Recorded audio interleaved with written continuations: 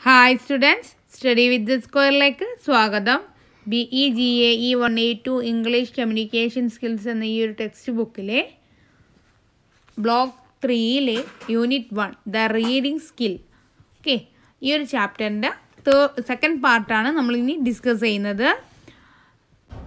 കഴിഞ്ഞ വീഡിയോയിൽ reasons for reading അതുപോലെ തന്നെ റീഡിങ് പ്രോസസ് അതിൽ തന്നെ reading for meaning and reading aloud ഈ ടോപ്പിക്കുകളൊക്കെ നമ്മൾ ഡിസ്കസ് ചെയ്ത് കഴിഞ്ഞു.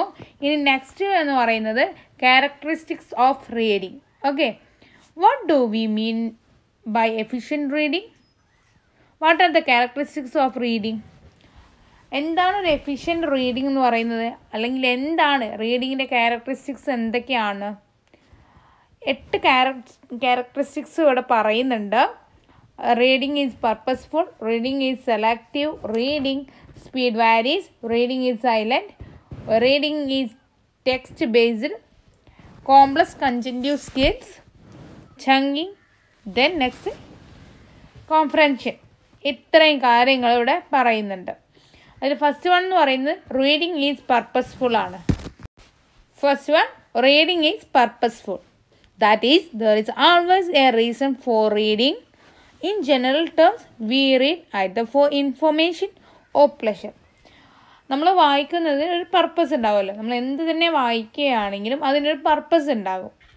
നമ്മളൊരു നോവൽ വായിക്കുകയാണെങ്കിൽ അല്ലെങ്കിൽ ഒരു ഒരു ഇൻഫോർമേഷൻ വായിക്കുകയാണെങ്കിൽ എന്ത് തന്നെ ആവട്ടെ ഒന്നെങ്കിൽ നമ്മൾ പ്ലഷറിന് വേണ്ടിയിട്ട് അല്ലെങ്കിൽ നമുക്കൊരു ഇൻഫോർമേഷൻ ലഭിക്കാൻ വേണ്ടിയിട്ട് ഇങ്ങനെയൊക്കെ ആയിരിക്കും നമ്മൾ വായിക്കുന്നത്.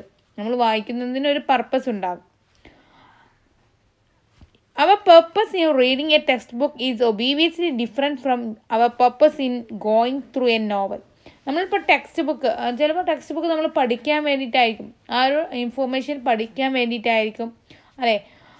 അതേ പർപ്പസ് ആയിരിക്കില്ല ഒരു നോവൽ നമ്മൾ വായിക്കുമ്പോൾ നോവൽ നമ്മൾ വായിക്കുന്നത് അല്ലെങ്കിൽ ഒരു പോയം നമ്മൾ റീഡ് ചെയ്യുന്നതൊക്കെ എന്താണ്? നമ്മുടെ പ്ലഷറിന് വേണ്ടിയിട്ടായിരിക്കും. But there is nothing like totally purposeless അപ്പം റീഡിങ് ഓക്കെ അപ്പം എന്ത് തന്നെ ആയാലും നമ്മൾ വായിക്കുന്നത് എന്തെങ്കിലും ഒരു കാരണമുണ്ടാകും എന്തെങ്കിലും ഒരു പർപ്പസ് ഉണ്ടായിരിക്കും നമ്മൾ വായിക്കുന്നതിന്. നമ്മൾ ഒരു ട്രാവൽ ചെയ്യുമ്പോൾ ഒരു നോവൽ വായിക്കുന്നത് ആ ഒരു ടൈം പാസിന് വേണ്ടിയിട്ടാണ്. ഓക്കെ അതാണ് അവിടുത്തെ പർപ്പസ് എന്ന് പറയുന്നത്. Even when you read a novel during travel you read it to pass your time and that is the purpose അപ്പോൾ അവിടെയുള്ള പർപ്പസ് എന്ന് പറയുന്നത് നമ്മളവിടെ ടൈം പാസ് ചെയ്യുക എന്നുള്ളതാണ്. നമ്മൾ ട്രാവൽ ചെയ്യുമ്പോൾ ഒരു നോവൽ നമ്മൾ വായിക്കുന്നത്. നമ്മളൊരു ഒരു ഇൻസ്ട്രക്ഷൻസ് നമ്മളൊരു അപ്ലയൻസസിന്റെ കൂടെയുള്ള ഒരു ഇൻസ്ട്രക്ഷൻസ് വായിക്കുന്നത്. അത് നോക്കി നമുക്കത് ചെയ്യാൻ വേണ്ടിയിട്ടാണ്. ഒരു വാഷിംഗ് മെഷീനിന്റെ കൂടെയുള്ള ഒരു ഇൻസ്ട്രക്ഷൻ ആണെങ്കിൽ നമ്മളത് നോക്കി വായിക്കുന്നത് എന്താ വെച്ചാൽ ഇത് ഈ ഒരു വാഷിംഗ് മെഷീൻ എങ്ങനെയാണ് വർക്ക് ചെയ്യേണ്ടത് എന്നൊക്കെ അറിയാൻ വേണ്ടിയിട്ടായിരിക്കും. അല്ലെങ്കിൽ ചില നോട്ടീസസ് നമ്മൾ വായിക്കും. അതെന്തിനാണ്? ചില പ്രോഗ്രാംസ് ഏത് ടൈമിൽ ഏതാളാണ് ഉദ്ഘാടനം ചെയ്തത്? അങ്ങനത്തെ എല്ലാ ഡീറ്റെയിൽസും ആ ഒരു പ്രോഗ്രാമിനെ കുറിച്ചുള്ള എല്ലാ ഡീറ്റെയിൽസും അറിയാൻ വേണ്ടിയിട്ടായിരിക്കും നമ്മൾ ആ നോട്ടീസ് വായിക്കുന്നത്. അങ്ങനെ ഏത് നമ്മൾ എന്ത് തന്നെ വായിക്കാവട്ടെ അതിനൊരു പർപ്പസ് ഉണ്ടായിരിക്കും. അതാണ് ഫസ്റ്റ് ക്യാരക്ടറിസ്റ്റിക്സ് ഓഫ് റീഡിങ് ഇത് കുറച്ചൊരു ഇമ്പോർട്ടന്റ് ആയിട്ടുള്ള കാര്യം കേട്ടോ. ക്യാരക്ടറിസ്റ്റിക്സ് ഓഫ് റീഡിംഗ് എന്ന് പറഞ്ഞ ഈ ഒരു ടോപ്പിക്ക് ഫസ്റ്റ് വൺ എന്താണ്? Reading is purposeful then second one reading is selective that is the type of reading you do or the way you read a test where is according to your purpose in reading നമ്മുടെ purpose നമ്മുടെ വായനയിൽ നമ്മുടെ പർപ്പസിനനുസരിച്ചായിരിക്കും നമ്മുടെ റീഡിങ്ങിന്റെ type പോകുന്നത്. എന്ന് വെച്ചാൽ ചിലപ്പോൾ നമ്മൾ എന്താണ് ഒരു ടെലിഫോൺ നമ്പർ കണ്ടുപിടിക്കാനാണെങ്കിൽ നമ്മൾ പെട്ടെന്ന് പെട്ടെന്ന് എന്ത് ചെയ്യും? പേജസ് മറച്ചിട്ട് കണ്ടുപിടിക്കും അല്ലേ? അല്ലാതെ എല്ലാ നമ്പേഴ്സും എല്ലാ നെയിംസും വായിച്ചിട്ടാണോ നമ്മൾ നമുക്ക് ആവശ്യമുള്ള നെയിം നമ്മൾ കണ്ടുപിടിക്കുക? അല്ല. ബാക്കി എല്ലാ പേജസും നമ്മൾ എന്ത് ചെയ്യും? ഇഗ്നോർ ചെയ്യും. കാരണം നമുക്ക് ഇറലവന്റ് ആണ്. നമ്മുടെ പർപ്പസിന് അതല്ല ആവശ്യം. നമുക്ക് ആ ഒരു നമ്പർ മാത്രമാണ് ആവശ്യം ആ ഒരു പേജിലുള്ളത് അത് നം അത് മാത്രം നമ്മൾ റീഡ് ചെയ്യും. ചില ടൈമിൽ നമ്മൾ എന്ത് ചെയ്യും നമ്മൾ ആ ഒരു ഒരു അഗ്രിമെന്റ് ഒക്കെ സൈൻ ചെയ്യുകയാണെങ്കിൽ നമ്മൾ മൊത്തമായി ഇരുന്ന് വായിക്കും. എന്നിട്ട് നമ്മൾ സൈൻ ചെയ്യുള്ളൂ അല്ലേ അപ്പോൾ നമുക്ക് ആവശ്യമുള്ളത് ആ ഒരു പേജ് മൊത്തമായിട്ട് നമ്മൾ വായിക്കും. നമുക്ക് റെലവൻ അപ്പോൾ ആ ഒരു നമ്മുടെ പർപ്പസ് എന്ന് പറയുന്നത് അഗ്രിമെന്റിൽ സൈൻ ചെയ്യുക എന്നുള്ള ആ ഒരു പ്രോഗ്രാമിന് നമുക്കത് മൊത്തമായിട്ട് വായിക്കണം. എന്നാലേ നമുക്ക് ആ കാര്യങ്ങളൊക്കെ അറിയാൻ പറ്റുള്ളൂ. എന്നിട്ട് നമുക്ക് സൈൻ ചെയ്യാൻ പറ്റുള്ളൂ.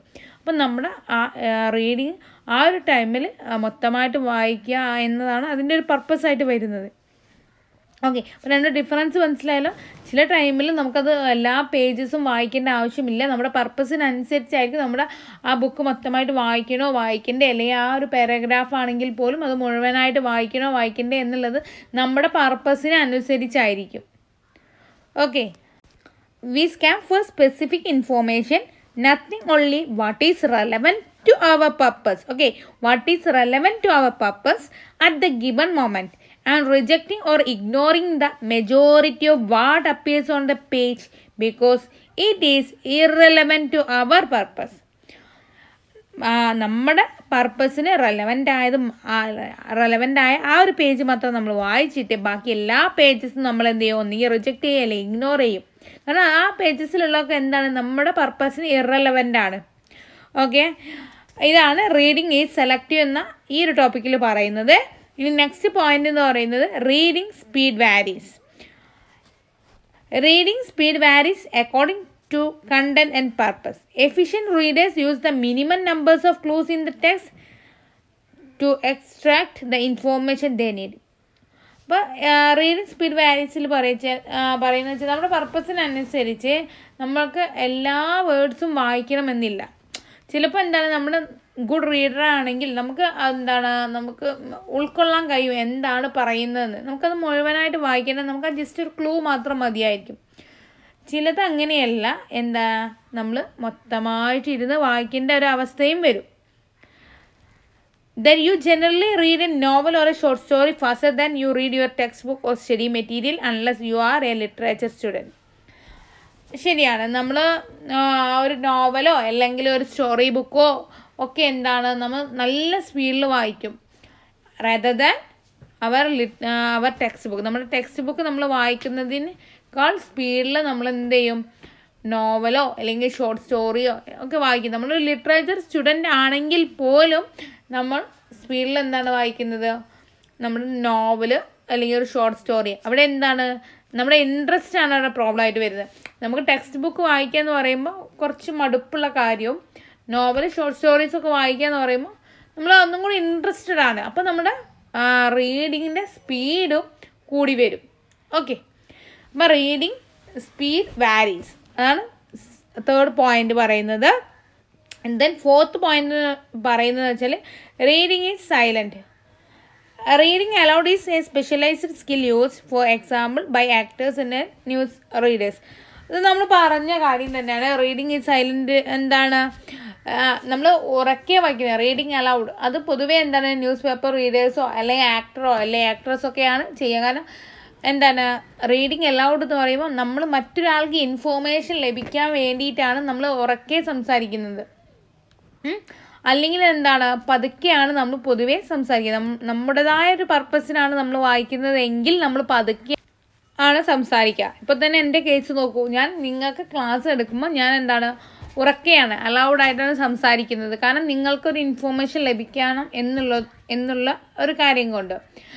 പക്ഷെ ഞാൻ എനിക്ക് മാത്രമായിട്ടാണ് വായിക്കുക എന്നുണ്ടെങ്കിൽ അത് ഞാനൊരു സൈലന്റ് റീഡിംഗ് ആണ് സെലക്ട് ചെയ്യുക. നെക്സ്റ്റ് വൺ എന്ന് പറയുന്നത് റീഡിങ് ഈസ് ടെക്സ്റ്റ് ബേസ്ഡ് പക്ഷെ നമ്മളൊരു പാരഗ്രാഫ് ബൈ പാരഗ്രാഫ് ആയിട്ടായിരിക്കും വായിക്കുക. കാരണം മേലത്തെ സെന്റൻസ് അടിയിലത്തെ സെന്റൻസുമായിട്ടൊരു കണക്ഷൻ ഉണ്ടാവും. അല്ലെങ്കിൽ നമുക്കൊരു അർത്ഥം എന്താണ് ഉൾക്കൊള്ളാൻ ബുദ്ധിമുട്ടാണ്. രണ്ട് ഡിഫറെന്റ് സിറ്റുവേഷൻസിലുള്ള രണ്ട് സെന്റൻസ് ആണെങ്കിൽ നമുക്കത് അത്ര കണ്ട് മനസ്സിലാക്കാൻ കഴിയണമെന്നില്ല ഒരു എക്സാമ്പിൾ ടെക്സ്റ്റ് ബുക്കിൽ തന്നിട്ടുണ്ട്. The mind of a thinker may work in many ways the experiments experiments his theory of ring structure how However, water is only a solvent and not a reagent ഇത് രണ്ട് രണ്ട് തരം സെന്റൻസുകളാണ് അല്ലാതെ ഇവർ തമ്മിൽ യാതൊരു ബന്ധവുമില്ല. അതുകൊണ്ട് തന്നെ എന്താണ് നമുക്ക് അതിന്റെ മീനിങ് കൺക്ലൂഡ് ചെയ്യാന്ന് പറയുന്നത് കുറച്ച് ബുദ്ധിമുട്ടാണ്. ബട്ട് ടെക്സ്റ്റ് ബേസ്ഡ് ആയിരിക്കണം reading reading is text based okay then next one is complex cognitive skills ഇതിൽ പറയുന്നത് എന്താണെന്ന് വെച്ചാൽ നമ്മൾ ഒരു റീഡർ എന്താണ് നമുക്ക് നമ്മൾ വായിക്കുന്നത് അതുപോലെ നമ്മൾ മനസ്സിലാക്കണമെന്നില്ല. നമുക്ക് നമ്മുടേതായ പ്രഡിക്ഷൻസ് ഉണ്ടാവും. നമ്മൾ വായിക്കുന്നതിനെ തന്നെ നമുക്ക് നമ്മുടേതായ പ്രഡിക്ഷൻസും ഇൻഫറൻസും ഒക്കെ ഉണ്ടാവും. നമ്മൾ എന്താണോ വായിച്ചതെന്നും നമ്മൾ ഇനി എന്താണ് വായിക്കാൻ പോകുന്നതെന്നൊക്കെ നമ്മൾ ഗസ് ചെയ്യാൻ തുടങ്ങും. ഓക്കെ നമ്മൾ ഓവറായിട്ട് പ്രഡിക്റ്റ് ചെയ്യും. എന്തായിരിക്കും ഇനി നെക്സ്റ്റ് വരുന്നതെന്നുള്ളത് നമ്മൾ പ്രഡിക്റ്റ് ചെയ്യും. അല്ലെങ്കിൽ നമ്മൾ ഗസ് ചെയ്യും. അതുകൊണ്ടാണ് റീഡിങ്ങിനെ സൈ സൈക്കോ ലിംഗ്വിസ്റ്റിക് ഗസ്സിങ് ഗെയിം എന്ന് പറയുന്നത്. അടുത്തത് എന്താണ്? നമ്മൾ ഒരു ഭാഗം ഒരു നോവൽ വായിച്ചു തുടങ്ങുമ്പോൾ എന്താണ് എങ്ങോട്ടാണ് എന്നുള്ളത് നമ്മൾ ഒരു പാരഗ്രാഫ് വായിച്ച് നെക്സ്റ്റ് പാരഗ്രാഫിൽ ഇതായിരിക്കും സംഭവിക്കാൻ പോകുന്നത് എന്നുള്ളത് നമ്മൾ ആദ്യമേ ഗസ് ചെയ്യും അതുപോലെ തന്നെ നമ്മളൊരു കാര്യം വായിച്ചാൽ എന്തെങ്കിലും ഒരു ഉപദേശങ്ങളൊക്കെ ആണെങ്കിൽ അത് നമ്മുടെ ലൈഫിൽ നമ്മൾ എന്ത് ചെയ്യും? നമ്മൾ അത് റിയാക്ട് ചെയ്യും. അത് നമ്മുടെ ലൈഫിലേക്ക് നമ്മളത് എടുക്കും. അതുപോലെ തന്നെ ചില വേറെ എന്തെങ്കിലും കാര്യങ്ങളാണെങ്കിൽ നമ്മൾ റിയാക്ട് ചെയ്യും. അല്ലേ? അല്ലാതെ നമ്മൾ ജസ്റ്റ് വായിച്ച് പോവുക മാത്രമല്ല നമുക്ക് അതിൽ നിന്ന് ആ ഒരു വായനയിൽ നിന്ന് എന്തെങ്കിലും ഒരു ഗുണപാഠം നമുക്ക് ലഭിക്കാതിരിക്കില്ല. ഓക്കെ അല്ലെങ്കിൽ നമ്മൾ ചില ഒപ്പീനിയൻസിനോട് എതിർപ്പായിരിക്കും നമ്മൾ ശരിയല്ല എന്ന രൂപത്തിൽ നമ്മൾ റിയാക്ട് ചെയ്യും. ഇങ്ങനെയൊക്കെ ഉണ്ടാവും. നമ്മൾ വായിക്കുമ്പോൾ ഉണ്ടാവുന്ന കാര്യങ്ങളാണ് ഇതൊക്കെ പറയുന്നത്. അപ്പോൾ കോംപ്ലക്സ് കൺജിറ്റീവ് സ്കിൽസിൽ പറയുന്നത് എന്താണ്? നമുക്ക് റീഡ് ചെയ്യുമ്പോൾ എന്താണ് നെക്സ്റ്റ് പാരഗ്രാഫോ അല്ലെങ്കിൽ നെക്സ്റ്റ് ടെക്സ്റ്റോ പ്രൊഡിക്റ്റ് ചെയ്യാനോ അല്ലെങ്കിൽ അതിന് ഇൻഫ്ലുവൻസസ് കരുതാനോ നമുക്ക് കഴിയും എന്നുള്ളതാണ് കോംപ്ലക്സ് കൺജക്റ്റീവ് സ്കിൽസിൽ പറയുന്നത്. അതുപോലെ തന്നെ റീഡിംഗ് എന്ന് പറയുന്നത് സൈക്കോ ലിംഗ്വിസ്റ്റിക് ഗസ്സിങ് ഗെയിമാണ് എന്തുകൊണ്ടാണെന്നൊക്കെ നിങ്ങൾക്ക് മനസ്സിലായല്ലോ? ഇനി ചങ്കി. ഇതെന്ന് പറയുന്നത് നമ്മൾ ഒരു ടെക്സ്റ്റ് വായിക്കുമ്പോൾ നമ്മുടെ കണ്ണുകൾ കണ്ടിട്ടില്ലേ നിങ്ങൾ ഓരോ അടുത്ത അടുത്തടുത്തടുത്ത പാരഗ്രാഫ് അല്ല അടുത്തടുത്ത സെന്റൻസിലേക്ക് നമ്മുടെ കണ്ണുകൾ ഓടിക്കൊണ്ടേയിരിക്കും. അല്ലാതെ നമ്മൾ ഓരോ വേർഡ് മാത്രം സൂക്ഷിച്ചല്ല വായിക്കുന്നത്. അത് മനസ്സിലാവണമെങ്കിൽ എന്ത് ചെയ്യുക നിങ്ങൾ ഒരു ലെറ്റർ ഒരു വേർഡ് വെക്കുക ബാക്കി വേർഡ്സൊക്കെ കവർ ചെയ്യുക. ഒരു വേർഡ് നെക്സ്റ്റ് വേർഡ് വെക്കുക ബാക്കി വേർഡ്സൊക്കെ കവർ ചെയ്യുക. അങ്ങനെ വായിച്ച് നോക്കുക നമുക്ക് ബുദ്ധിമുട്ടുമാണ്. നമുക്ക് നമുക്ക് തന്നെ അത് മനസ്സിലാവുകയില്ല. എന്താണ് പറയുന്നതെന്ന് മനസ്സിലാവുകയുമില്ല. അതിന് മറിച്ച് നമ്മൾ എന്താണ് നമ്മൾ വായിക്കുമ്പോൾ നമ്മുടെ ഐസ് എന്താണ് നെക്സ്റ്റ് നെക്സ്റ്റ് വേർഡ്സുകൾ അല്ലെങ്കിൽ നെക്സ്റ്റ് സെന്റൻസുകളിലേക്ക് നമ്മുടെ കണ്ണുകൾ ചലിച്ചു കൊണ്ടേയിരിക്കും അപ്പോൾ നമുക്ക് ഈസി ആയിട്ട് വായിക്കാൻ പറ്റും.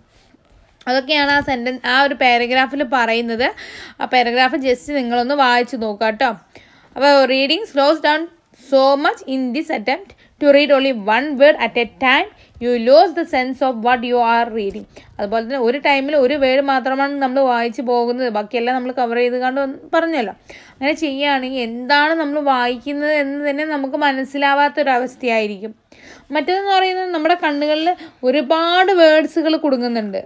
അല്ലേ? നമ്മൾ വായിക്കുന്ന നമ്മുടെ മൈൻഡ് വെച്ച് ഓക്കെ നമ്മുടെ കണ്ണുകളിൽ ഒരുപാട് വേർഡ്സുകൾ വന്നിട്ട് നമുക്ക് ആ ഒരു ആ ഒരു meaning മുഴുവനാകുന്നത്.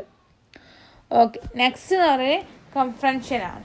Reading is based on comprehension that is understanding meaning is integral to reading then the result of it the more we comprehend the more we can and tend to read നമ്മൾ വായിക്കുന്നത് മനസ്സിലാക്കി അല്ലെങ്കിൽ meaning ഉൾക്കൊണ്ട് കൊണ്ട് വായിക്കുകയാണെങ്കിൽ നമുക്കത് എന്താണ് അതിന് കൂടുതൽ റിസൾട്ടും ഉണ്ടാവും. അതുപോലെ തന്നെ നമുക്ക് കൂടുതൽ വായിക്കാനും ഇൻട്രസ്റ്റ് ഉണ്ടാവും. നമുക്ക് മനസ്സിലാവാത്തൊരു കാര്യം നമ്മൾ വായിക്കാൻ നമുക്കൊരു കുറച്ച് ബുദ്ധിമുട്ടുമാണ് മടിയുമാണ് അതേ മറിച്ച് നമുക്ക് അർത്ഥം മനസ്സിലാവുന്ന ഒരു കാര്യമാണ് നമ്മൾ മനസ്സിൽ നമ്മൾ വായിക്കുന്നതെങ്കിൽ എന്താണ്? നമുക്ക് ഒന്നും കൂടി നമുക്ക് കൂടുതൽ റിസൾട്ടും ലഭിക്കും. അതുപോലെ തന്നെ നമുക്ക് വായിക്കാനുള്ള ടെൻഡൻസിയും കൂടും. കൂടുതൽ നമ്മൾ വായിക്കുകയും ചെയ്യും. ഓക്കെ ഇത്രയും പോയിന്റ്സ് ആണ് ക്യാരക്ടറിസ്റ്റിക്സ് ഓഫ് റീഡിങ്ങിൽ പറയുന്നത്. സിമ്പിളായിട്ടുള്ള കാര്യങ്ങളാണ്. അങ്ങനെ പറഞ്ഞു വരുമ്പോൾ കുറച്ച് കോംപ്ലിക്കേറ്റഡ് ആവുക എന്നേ ഉള്ളൂ റീഡിങ് ഈസ് പർപ്പസ്ഫുൾ ഓക്കെ അതിൽ തന്നെ ഉണ്ട് അതിന്റെ definition reading is selective selective ആണ് എന്നതിലുള്ള അത്. ഓക്കെ അതാണ് അതിന്റെ ഡെഫിനിഷൻ അതിൽ തന്നെ ഉണ്ട് reading speed varies then next reading is silent reading is text based reading involves complex conjunctive skills then effective reading also involves chunking of information then next one is reading is based on comprehension ഇത്രയും കാര്യങ്ങളാണ്. അപ്പോൾ നിങ്ങൾക്ക് എന്താണ് മനസ്സിലാവുന്നുണ്ടല്ലോ? അത് വെച്ചിട്ട് നിങ്ങൾ നിങ്ങളുടേതായ ഭാഷയിൽ ക്വസ്റ്റ്യൻസ് വരികയാണെങ്കിൽ എഴുതുക. Okay then next levels of meaning ഇതിൽ നാല് ഘട്ടങ്ങളാണുള്ളത്. അത് ലിറ്ററൽ ഇൻട്രപ്റ്റീവ് ക്രിട്ടിക്കൽ ക്രിയേറ്റീവ് ഇങ്ങനെ നാല് ഘട്ടങ്ങളാണ് ലെവൽസ് ഓഫ് മീനിങ്ങിലുള്ളത് അപ്പം നമ്മൾ വായിക്കുമ്പോൾ എന്താണ്? നമുക്ക് ആ ഒരു കാര്യങ്ങൾ നമ്മൾ എന്താണോ എഴുതിയിട്ടുള്ളത് നമ്മൾ ആ ടെക്സ്റ്റിൽ എന്താണോ തന്നിട്ടുള്ളത് അത് കറക്റ്റായിട്ട് മനസ്സിലാക്കുമ്പോൾ അതിന് നാല് ഘട്ടങ്ങളാക്കി തിരിച്ചിട്ടുണ്ട്. ആ ഒരു മനസ്സിലാക്കൽ അല്ലെങ്കിൽ ആ ഒരു പാരഗ്രാഫിനെ എങ്ങനെയാണോ നമ്മൾ മനസ്സിലാക്കുന്നതിനെ കുറിച്ച് നാല് ഘട്ടങ്ങളാക്കിയിട്ട് നേരിട്ട് മനസ്സിലാക്കാം. അല്ലെങ്കിൽ ആശയം തന്നിട്ടുണ്ടാവില്ല. അത് നമ്മൾ വളഞ്ഞ് മൂക്ക് പിടിച്ച് മനസ്സിലാക്കാം. അങ്ങനെയൊക്കെ ഉണ്ടാവുമല്ലോ അപ്പോൾ നിങ്ങൾ എക്സാമ്പിൾസ് ഒക്കെ പറയുമ്പോൾ മനസ്സിലാവും. അങ്ങനെ നാല് ഘട്ടങ്ങളായിട്ട് റീഡിങ്ങിന്റെ ലെവൽ ഓഫ് മീനിങ് തിരിച്ചിട്ടുണ്ട്. അതിൽ ഫസ്റ്റ് വൺ ലിറ്ററലാണ് ലിറ്ററൽ എന്ന് പറയുന്നത് എന്താണ്? The reader in understanding okay sorry ഒറ്റ minute literal comprehension involves the reader in understanding the information stated directly in a text ഒരു ടെക്സ്റ്റിൽ അല്ലെങ്കിൽ എന്താണോ എഴുതിയിട്ടുള്ളത് അത് ഡയറക്റ്റായിട്ട് നമുക്ക് മനസ്സിലാക്കാം. അതിന്റെ മീനിങ് വെച്ചിട്ട് നമുക്ക് ഡയറക്റ്റായിട്ട് മനസ്സിലാക്കുന്നവയാണ് ലിറ്ററലിൽ വരുന്നത്. അപ്പം ഡിഗ്ഗിങ് ദ എർത്ത് എന്ന് പറയുമ്പോൾ അതാണ് ടെക്സ്റ്റിലുള്ള ഒരു എക്സാമ്പിൾ ഡിഗ്ഗിങ് ദ എർത്ത് പറഞ്ഞാൽ ഭൂമിയിൽ കുഴിക്കുക എന്നാണ് അപ്പം കറക്റ്റ് അത് തന്നെയാണ് അത് തന്നെയാണ് അതിന്റെ മീനിങ്ങും ഓക്കെ അപ്പോൾ ആ റൈറ്റർ എഴുതിയത് ഡിഗ്ഗിങ് ദ എർത്ത് ആണെങ്കിൽ ആ വായിക്കുന്ന റീഡർക്ക് റീഡർ വായിക്കില്ല. റീഡർക്ക് എന്ത് കറക്റ്റായിട്ട് ഇതാണ് ഇന്നതാണ് എഴുതിയതെന്ന് മനസ്സിലാക്കുക. അത് എന്താണ് മനസ്സിലാക്കേണ്ടത്? ഡിഗിങ് എർത്ത് പറഞ്ഞാൽ ഭൂമിയിൽ കുഴിക്കുക എന്ന് തന്നെയാണ് മനസ്സിലാക്കേണ്ടത്. ഡയറക്റ്റായിട്ട് ഇത് തന്നെയാണ് അത് പറഞ്ഞിട്ടുള്ളത്. ഓക്കെ മനസ്സിലാവുന്നുണ്ടെന്ന് കരുതുന്നു. അങ്ങനെ വേറെ കൂടുതലായിട്ട് ഡീപ്പായിട്ട് ചിന്തിക്കുകയോ അതൊന്നും വേണ്ട. നമ്മൾ ടെക്സ്റ്റിൽ എന്താണോ തന്നെ അത് അതിന്റെ മീനിങ് വെച്ച് ജസ്റ്റ് ഒന്ന് മനസ്സിലാക്കുക. ഡയറക്റ്റ് മീനിങ് വെച്ചിട്ട് നമുക്ക് ആ കാര്യമൊന്നും മനസ്സിലാക്കാം അതിനേക്കാൾ സിമ്പിൾ എന്ന് പറയുന്നത് എന്താ പറയുക I have a I have a car അതാണ് എക്സാമ്പിൾ സുഖം. ഐ ഹാവ് എ കാർ എന്ന് പറഞ്ഞാൽ എനിക്കൊരു കാറുണ്ട് അപ്പോൾ അത് തന്നെയാണ്. സിമ്പിളായിട്ട് അത് തന്നെ. എനിക്കൊരു കാറുണ്ട് അത്ര തന്നെ മനസ്സിലാക്കുക അല്ല അതിൽ അതിന് ഉള്ളിലേക്ക് ഡീപ്പായിട്ട് അവനൊരു കാർ ഉണ്ടായിരുന്നു. അല്ലെങ്കിൽ അവന്റെ കാറിന്റെ നമ്പർ അങ്ങനെ ആ ഒരു ഇതിനെ പറ്റി ഡീപ്പായിട്ട് ചിന്തിച്ച് പോകാതെ എന്താണോ സ്റ്റേറ്റ്മെന്റ് തന്നിട്ടുള്ളത് അതിന്റെ ഡയറക്റ്റ് മീനിങ് ആണ് എന്തിൽ പെടുക? ലിറ്ററലിൽ പെടുന്നത്. അപ്പോൾ ലിറ്ററലിൽ നിങ്ങൾ വായിക്കൂലേ? ഞാൻ വായിച്ച് തരേണ്ട ആവശ്യമില്ലല്ലോ. ജസ്റ്റ് ഒന്ന് പറഞ്ഞു നോക്കാം അല്ലേ? Literal comprehension involves the reader in understanding the information stated directly in a test അപ്പോൾ ഇത് ഈ ഒരു പോയിന്റ് എന്തായാലും നിങ്ങൾ എഴുതണം.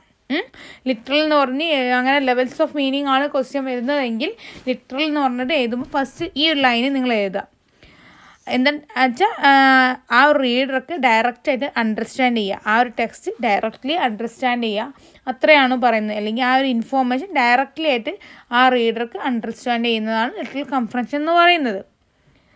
ചിലപ്പോൾ അത് ഫാക്റ്റ് ആവും അല്ലെങ്കിൽ ഡീറ്റെയിൽസ് ആവും അല്ലെങ്കിൽ സീക്വൻസ് ഓഫ് ഇവന്റ്സ് ആവാം മെയിൻ ഐഡിയാസ് ആവും ജനറലൈസേഷൻസ് ആവും കോഴ്സസ് ആവും ഇഫക്ട്സ് ആവും എന്ത് തന്നെ ആവട്ടെ അത് ഡയറക്റ്റായിട്ട് മനസ്സിലാക്കുക. ആ എഴുതിയത് തന്നെയാണ് ഡയറക്റ്റായിട്ട് മനസ്സിലാക്കുക. ഡീപ്പായിട്ടൊന്നും എന്ത് ചെയ്യണ്ട. The reader does not have to dig to D dig to deeply to get at it അത് വെച്ചാൽ അത് അത്രത്തോളം എന്താണ് ഡീപ്പായിട്ട് ചിന്തിച്ച് ഇരിക്കേണ്ട ആവശ്യമൊന്നുമില്ല. ആ ഒരു ടെക്സ്റ്റിന്റെ മീനിങ് മനസ്സിലാക്കാൻ വേണ്ടിയിട്ട്. എനിക്ക് തന്നെ എക്സ്പ്ലെയിൻ ചെയ്യുമ്പോൾ ഒരു ഡൗട്ട് ഉണ്ട്. നിങ്ങൾക്ക് മനസ്സിലാവുന്നുണ്ടോ ഇല്ലയോ എന്നുള്ളത്. അതുപോലെ തന്നെ അങ്ങനെ പറയുന്നത് വെച്ചാൽ ആവർത്തിച്ച് ആവർത്തിച്ച് ഞാൻ പിന്നെയും പറയുന്നുണ്ട് തോന്നുന്നു. നിങ്ങൾക്ക് ബുദ്ധിമുട്ടാവുന്നുണ്ടെങ്കിൽ ക്ഷമിക്കണം കേട്ടോ.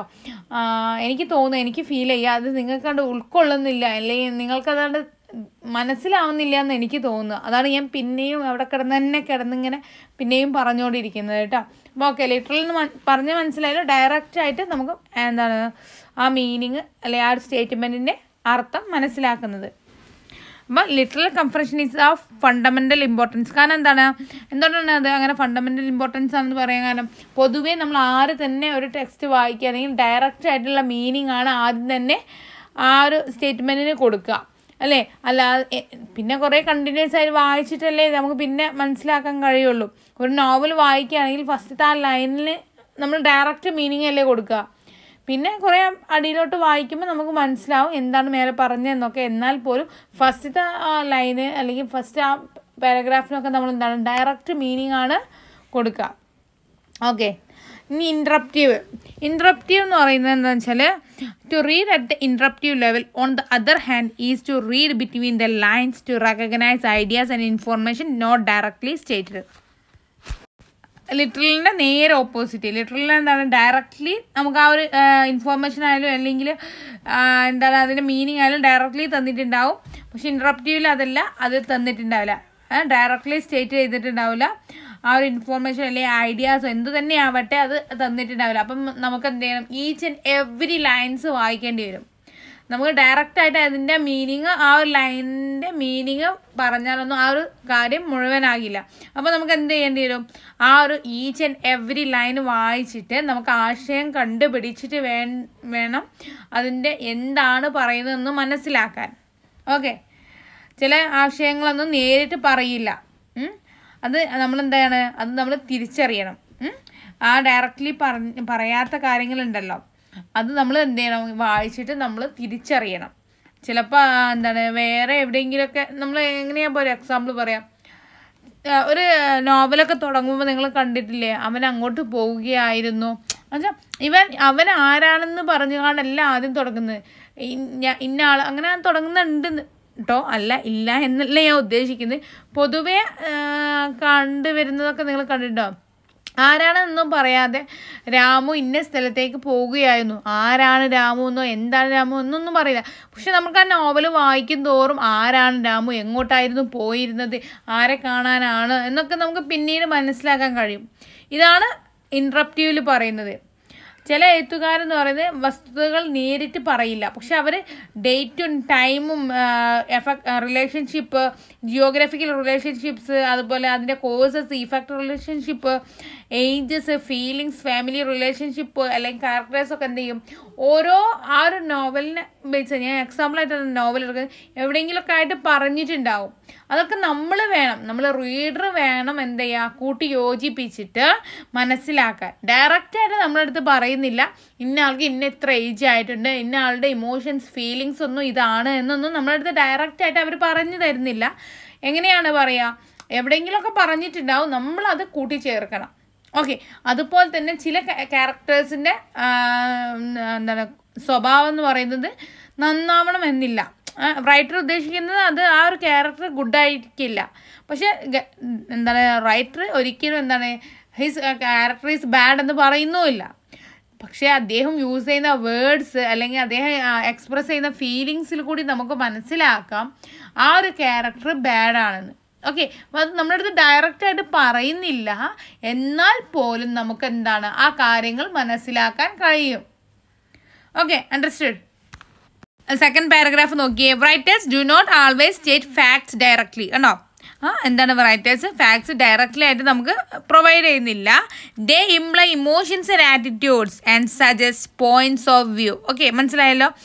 ഇപ്പോൾ പറഞ്ഞത് തന്നെ. അപ്പോൾ അതിനൊരു ഇൻസ്റ്റൻസ് കൊടുക്കുന്നുണ്ട്. And author may not state directly that a particular character is bad but the words she or he uses to describe that person and the situation she or he presents him or her in may convey the author's attitude towards that character മനസ്സിലായോ? ഈ ഒരു example നിങ്ങൾ മനസ്സിൽ ഓർക്കുക. ചില ടൈമിൽ എന്താണ് ആ ഒരു ഓദർ എന്ത് ചെയ്യില്ല ഒരു പെർട്ടിക്കുലർ ക്യാരക്ടർ ബാഡാണെന്ന് പറയില്ല. അതിന് പകരം അദ്ദേഹം യൂസ് ചെയ്യുന്ന സിറ്റുവേഷൻസോ അല്ലെങ്കിൽ യൂസ് ചെയ്യുന്ന വേർഡ്സ് അല്ലെങ്കിൽ attitude towards that towards that character ഒക്കെ എന്തായിരിക്കും? ബാഡായിരിക്കും അപ്പോൾ നമുക്ക് ഉൾക്കൊള്ളാൻ കഴിയും ആ ഒരു ക്യാരക്ടർ ബാഡാണ് റൈറ്ററുടെ കാഴ്ചപ്പാടിൽ ആ ഒരു ക്യാരക്ടർ എന്താണ്? ബാഡായിട്ടാണ് അദ്ദേഹം ചിത്രീകരിക്കുന്നതെന്ന് നമുക്ക് വായിക്കുന്ന ഒരു റീഡർക്ക് എന്താവും? മനസ്സിലാക്കാൻ കഴിയും. ഓക്കെ ടെക്സ്റ്റിൽ തന്നെ പിന്നെയും എക്സാമ്പിൾസ് കൊടുത്തിട്ടുണ്ട്. നമ്മൾ ചില പേഴ്സൺസിനെ ടെററിസ്റ്റ് വിളിക്കും. അതെന്താണ്? തീവ്രവാദികളാണ്. അതേ സ്ഥാനത്ത് നമ്മൾ ഫ്രീഡം ഫൈറ്റേഴ്സ് എന്ന് വിളിക്കുന്ന സ്വാതന്ത്ര്യ സമര സേനാനികളെയാണ്. അപ്പോൾ അത് ആ സിറ്റുവേഷൻ രണ്ട് പേരും എന്താണ്? രാജ്യത്തിന് വേണ്ടിയിട്ട് ഇതാക്കുന്നതാണ്. പക്ഷെ ആ ഒരു സിറ്റുവേഷൻ അനുസരിച്ചാണ് ആ മീനിങ്ങിൽ വ്യത്യാസങ്ങൾ വരുന്നത്. ഓക്കെ അപ്പോൾ ആ ഒരു റൈറ്ററുടെ ആറ്റിറ്റ്യൂഡ് എന്ത് ആവണം? നമ്മുടെ റീഡർക്ക് ഉൾക്കൊള്ളാൻ കഴിയണം. അതുപോലെ തന്നെ ഗസിൽഡ് ഡോർ സ്ട്രോബേർഡ് എന്ന് പറയുന്നത് അല്ലെ വോൾഫർ ഡൗൺ എന്നൊക്കെ പറയും. ഓക്കെ ഇതൊക്കെ യൂസ് ചെയ്യുന്നത് വെച്ചാൽ നമ്മളൊരു കുട്ടി ഭക്ഷണം കഴിക്കുന്നതിനാണ് ഈ ഒരു വേർഡ്സ് അല്ലെ ടേംസ് ഒക്കെ യൂസ് ചെയ്യുന്നത് വെച്ചാൽ അതൊരു ഫാക്റ്റാണ് പക്ഷെ നമ്മൾ അഡൽട്ടാണ് അഡൽട്ട് ഭക്ഷണം കഴിക്കുന്നതിനെ കുറിച്ചാണ് പറയുന്നത് വെച്ചാൽ അദ്ദേഹം കഴിക്കുന്നതിനോടുള്ള വെറുപ്പാണ് നമ്മൾ ഈ വേർഡ്സോടൊക്കെ സൂചിപ്പിക്കുന്നത്. ഓക്കെ ഇനി പറയുന്നത് അതുപോലെ തന്നെ എന്താണ് ചില ഇഡിയംസ് ഒക്കെ നമ്മൾ യൂസ് ചെയ്യും അല്ലേ? നമ്മൾ എന്താ പറയുക ഇഡിയംസ് ഒക്കെ നമ്മൾ എന്താണ് അതുപോലെ ചില വേർഡ്സുകളൊക്കെ നമ്മൾ യൂസ് ചെയ്യും സ്റ്റേറ്റ്മെന്റ്സ് ഒക്കെ യൂസ് ചെയ്യും. നമ്മുടെ നോവലിലായാലും നമ്മുടെ ടെക്സ്റ്റിലായാലും എവിടെ തന്നെ ആയാലും. അപ്പോൾ അതിന് ഡയറക്റ്റായിട്ട് മീനിങ് കൊടുത്താൽ അത് ശരിയാവില്ല. ടെക്സ്റ്റിലെ ഒരു എക്സാമ്പിളാണ് ഹി ഹാഡ് നോ ഹാർട്ട് എന്ന് പറയും. ശരിക്കും എന്താണ് അർത്ഥം പറയുന്നത്? ഹി ഹാഡ് നോ ഹാർട്ട് എന്ന് പറഞ്ഞാൽ അദ്ദേഹത്തിന് ഹൃദയമില്ല എന്നാണ്. അതാണോ ശരിക്കും അവിടെ മീനിങ് ആയിട്ട് വരിക? അല്ല വെച്ചാൽ അദ്ദേഹം ഒരു മനസാക്ഷി ഇല്ലാത്ത ആളാണോ? അങ്ങനെ എന്തൊക്കെയാ ആയിരിക്കും ആ ഒരു സിറ്റുവേഷൻ അനുസരിച്ചായിരിക്കും അത് വരുന്നത്. കറക്റ്റ് മീനിങ് ആയിട്ട് നമ്മളവിടെ കൊടുത്താൽ അദ്ദേഹത്തിന് ഹൃദയമില്ല എന്നാണ് വരിക. ശരിക്കും അപ്പോൾ അതെന്താണ്? ഒരു റീഡർക്ക് മനസ്സിലാവണം എന്താണ് റൈറ്റർ ഉദ്ദേശിക്കുന്നത്. ഇഡിയംസ് ഒക്കെ യൂസ് ചെയ്തിട്ട് ഈ എന്താണ് idiomatic expressions figure figures of speech okay ഇതൊക്കെ റൈറ്റേഴ്സ് എന്തിനാണോ യൂസ് ചെയ്തതെന്ന് നമ്മുടെ റീഡറുടെ ആറ്റിറ്റ്യൂഡിന് മനസ്സിലാവണം. ഇനി പറയുന്നത് എന്താണെന്ന് വെച്ചാൽ ഇതൊക്കെ എങ്ങനെയാണ് മനസ്സിലാവുക? നമ്മൾ കണ്ടിന്യൂസ് ആയിട്ടുള്ള അല്ലെങ്കിൽ previous experience with language literature and life in constructive meanings നമ്മുടെ വായനയുടെ വെച്ചാൽ നമ്മൾ വായിക്കും തോറുമാണ് നമുക്ക് ഇതൊക്കെ മനസ്സിലാക്കാൻ കഴിയുക. എന്താണ് ഈ റൈറ്ററുടെ ആറ്റിറ്റ്യൂഡ് എന്ന് മനസ്സിലാക്കുക ഒറ്റയടിക്ക് നമുക്കത് മനസ്സിലാവണം എന്നില്ല. നമ്മുടെ പ്രീവിയസ് എക്സ്പീരിയൻസ് വെച്ചിട്ടാണ് നമുക്കിതൊക്കെ മനസ്സിലായി വരുന്നത്. ഓക്കെ ഇത്രയും കാര്യങ്ങളാണ് ഇൻട്രപ്റ്റീവിൽ എഴുത ഉള്ളത്. ഇൻട്രപ്റ്റീവിൽ അപ്പം മെയിൻ പോയിന്റ്സ് എന്ന് പറയുന്നത് ഫസ്റ്റ് പോയിന്റ് ആണ്. To read at the interpretive level on the other hand is to read between the lines to recognise ideas and information not directly stated okay എന്താ ഓർക്ക? നോട്ട് ഡയറക്ട്ലി സ്റ്റേറ്റഡ് അതുപോലെ writers do not always always state facts directly ഇങ്ങനെ examples ഒക്കെ വെച്ചിട്ട് നിങ്ങൾ എന്ത് ചെയ്യുക ഒരു നോട്ട് തയ്യാറാക്കി വെക്കുക കേട്ടോ എന്നിട്ട് അത് പഠിക്കുക. പിന്നെ ക്രിട്ടിക്കൽ ക്രിട്ടിക്കലിൽ പറയുന്നത് എന്തെന്ന് വെച്ചാൽ critical reading requires making judgements with regard to a test ഒരു ടെസ്റ്റ് നമ്മൾ വായിച്ചാൽ അതിന് ജഡ്ജ്മെന്റ് നൽകുക വെച്ചാൽ നമ്മുടെ ആശയങ്ങൾ ചോദിക്കുക അല്ലെങ്കിൽ നമ്മൾ കൺക്ലൂഡ് ചെയ്യുക ജഡ്ജ്മെന്റ് നമ്മൾ ആ ടെക്സ്റ്റിനെ കുറിച്ചുള്ള ജഡ്ജ്മെന്റ് നടത്തുക അതുപോലെ തന്നെ ആ ജഡ്ജ്മെന്റിനുള്ള റീസൺസ് ഒക്കെ ആ ഒരു ക്രിട്ടിക്കൽ ആയിട്ടുള്ള റീഡിങ്ങിനെ ബേസ് ചെയ്തിട്ടാണ് വരുന്നത്. ഓക്കെ അപ്പോൾ ഇതുവരെ ആദ്യം ഡയറക്റ്റായിട്ട് മീനിങ് ഉണ്ടാവും. ലിറ്ററൽ ഇൻട്രപ്റ്റിയിൽ ഡയറക്റ്റ് ആയിട്ട് പറഞ്ഞിട്ടുണ്ടാവില്ല. നമ്മൾ എന്താ ചെയ്യണം നമ്മൾ ആശയങ്ങൾ വെച്ചിട്ട് കണ്ടുപിടിക്കണം. മൂന്നാമത്തെ ക്രിട്ടിക്കലിൽ പറയുന്നത് നമുക്ക് ആ ഒരു സ്റ്റേറ്റ്മെന്റിനെ അല്ലെങ്കിൽ ടെക്സ്റ്റിനെ ജഡ്ജ്മെന്റ് ചെയ്യാം. അതുപോലെ തന്നെ ആ ജഡ്ജ്മെന്റ് ചെയ്തതിന്റെ റീസൺസും അതിലുണ്ടാകും. Critical reading also request giving reasons for the judgement and stating the criteria used in making it commenting on the views expressed in the passage and the appropriateness and effectiveness of the treatment of those ideas. Next one എന്ന് പറയുന്നത് creative reading ആണ്. ആ creative റീഡിംഗിൽ എന്ന് വെച്ചാൽ നമ്മൾ പുതിയ ideas generation of new ideas okay അല്ലെങ്കിൽ insight applications and approaches വെച്ചാൽ നമ്മൾ വായിക്കുന്നതിന് പുതിയ ഐഡിയാസ് ജനറേറ്റ് ചെയ്യുക എന്നതാണ് ക്രിയേറ്റീവിൽ വരുന്നത്. It requires invention prediction and use of the imagination okay അതിൽ ഇൻക്ലൂഡ് ചെയ്യുന്ന എന്താണ്? ഇമേജിനേഷന് പ്രഡിക്ഷന് ഇൻവെൻഷൻസ് ഇവയൊക്കെയാണ് ഈ ഒരു ക്രൈ സോറി ക്രിയേറ്റീവിൽ വരുന്നത് ഓക്കെ അതുപോലെ തന്നെ proposing an alternative conclusion or generalisation based on a reading test and suggesting related examples or exercises in creative reading just ഓർക്കുക ടെക്സ്റ്റ് ബുക്കിൽ എങ്ങനെയാണ്? നമ്മൾ ഒന്നീ ഡയറക്റ്റ് ആയിട്ട് മീനിങ് പറയും. അത് ലിറ്ററലി പറഞ്ഞു. ചിലപ്പോൾ നമുക്ക് ഡയറക്റ്റ് ആശയം തന്നിട്ടുണ്ടാവില്ല. അപ്പോൾ നമ്മൾ എന്ത് ചെയ്യും? അത് നമ്മൾ എവിടെയെങ്കിലുമൊക്കെ പറഞ്ഞത് വെച്ച് കണക്ട് ചെയ്ത് നമുക്ക് ആ ഒരു ടെക്സ്റ്റ് മനസ്സിലാക്കാൻ കഴിയും. തേർഡ് വൺ എന്ന് പറയുന്നത് ക്രിട്ടിക്കലാണ് അത് ചിലപ്പോൾ ആ സ്റ്റേറ്റ്മെന്റ് ജഡ്ജ്മെന്റ് ഉണ്ടാവും. അതിന് നമ്മൾ അല്ലെങ്കിൽ എന്താണ് ആ ജഡ്ജ്മെന്റിന് അതിൽ തന്നെ റീസൺസ് ഉണ്ടാവും. എന്തുകൊണ്ട് തന്നു? അല്ലെ റീസൺസ് ഉണ്ടാവും. അല്ലെങ്കിൽ ആ ടെക്സ്റ്റിലെ ആ ഒരു സിറ്റുവേഷൻ എന്തിനാണ് ആ ഒരു സ്റ്റേറ്റ്മെന്റ് തന്നിട്ടുള്ളതെന്ന് എന്നതിന്റെ ഒരു ക്രൈറ്റീരിയ ആ ഒരു സ്റ്റേറ്റ്മെന്റ് ഉണ്ടാക്കാനുള്ള കാരണം കൊണ്ട് ആ ഒരു ക്രൈറ്റീരിയ ഒക്കെ തന്നിട്ടുണ്ടാവും. അല്ലെങ്കിൽ എന്താണ് നമുക്ക് അതിലുള്ള വ്യൂസിന് അതിലുള്ള കമൻസ് അതിലുണ്ടാവും. ആ ഒരു പാസേജിലുള്ള അവർ എക്സ്പ്രസ് ചെയ്തിട്ടുള്ള വ്യൂസിന്റെ കമൻ കമൻസ് ഉണ്ടാവും. അതുപോലെ അപ്രോപ്രിയറ്റ്നസ് സോറി അപ്രോപ്രിയറ്റ്നെസ് അഫക്റ്റീവ്നെസ് ഒക്കെ. ഇതൊക്കെ എന്താണ് ക്രിട്ടിക്കൽ റീഡിങ്ങിലാണ് റിക്വയർ ചെയ്യുന്നത് ഉണ്ടാക്കുന്നത്. ഓക്കെ ഇനി ക്രിയേറ്റീവിലാണ് പറയുന്നത്. വെച്ചാൽ creative reading calls for the generation of new ideas new ideas generate ചെയ്യുന്ന ആ ന്യൂ ഐഡിയാസിനാണ് ക്രിയേറ്റീവ് റീഡിങ്ങിൽ വരുന്നത്. അതിൽ ഇൻവെൻഷൻസ് പ്രഡിക്ഷൻസ് അതുപോലെ തന്നെ ഇമേജിനേഷൻസ് ഒക്കെ ഇൻക്ലൂഡ് ചെയ്യും. അതുപോലെ തന്നെ നമ്മുടെ ടെക്സ്റ്റ് നമ്മുടെ ടെക്സ്റ്റ് ബുക്ക് വായിച്ചാൽ അതിന് എക്സസൈസ് ഉണ്ടാവും. അല്ലേ? അല്ലെങ്കിൽ അതുപോലെ ചെറിയൊരു കൺക്ലൂഷൻ ഉണ്ടാവും. മൊത്തമായിട്ടുള്ള ജനറലൈസേഷൻ വെച്ചാൽ ആ ഒരു ചാപ്റ്ററിന്റെ മൊത്തമായിട്ടുള്ള കൺക്ലൂഷൻ അല്ലെങ്കിൽ generalisation based on a reading test and suggestive related examples or exercise in creative reading അപ്പോൾ ഒരു ടെക്സ്റ്റ് ബുക്ക് എന്താണെന്ന് ആലോചിക്കുക. ടെക്സ്റ്റ് ബുക്കിന്റെ ലാസ്റ്റിലേക്ക് എക്സസൈസ് ഒക്കെ വരുന്നത് അതൊക്കെയാണ് നമ്മുടെ ക്രിയേറ്റീവിൽ വരുന്നത്.